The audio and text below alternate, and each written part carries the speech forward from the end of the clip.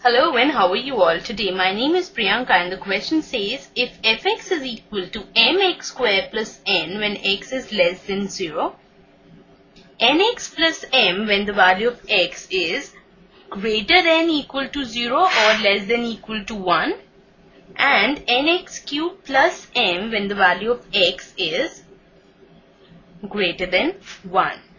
For what integers m and n does both limit x approaches to 0 fx and limit x approaches to 1 fx exist.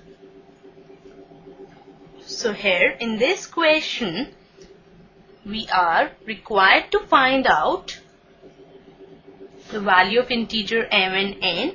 So when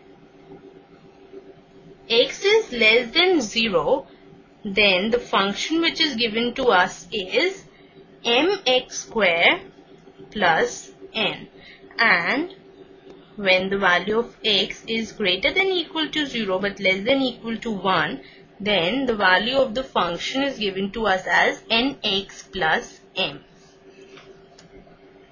So we have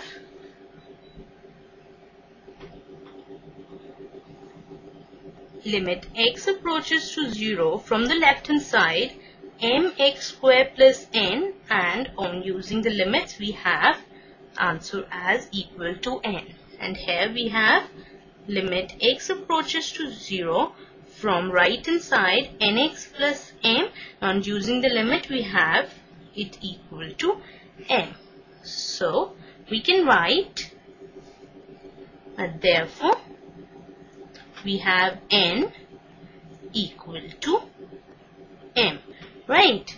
This is for the first case. Now for the second case we have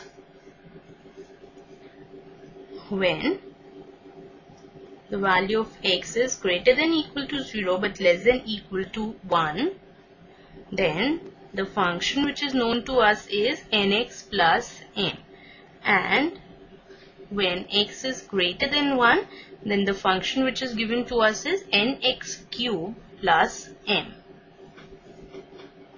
Therefore,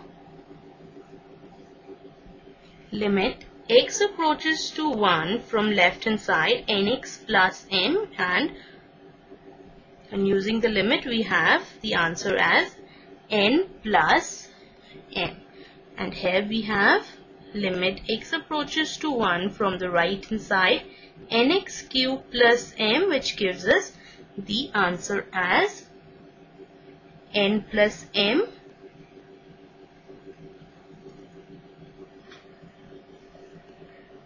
Right. So we can say that therefore limit x approaches 0 fx is equal to m and limit x approaches 1 fx is equal to 2m for all m which belongs to real number. So the answer to the session is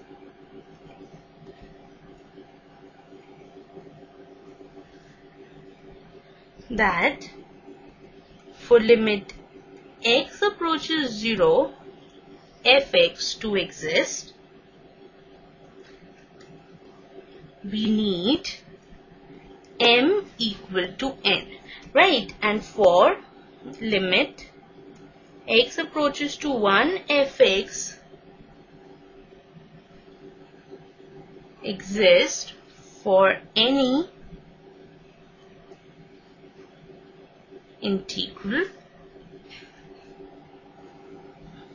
value of m and n Right, so this is our required answer. Hope you understood the whole concept well. Have a nice day.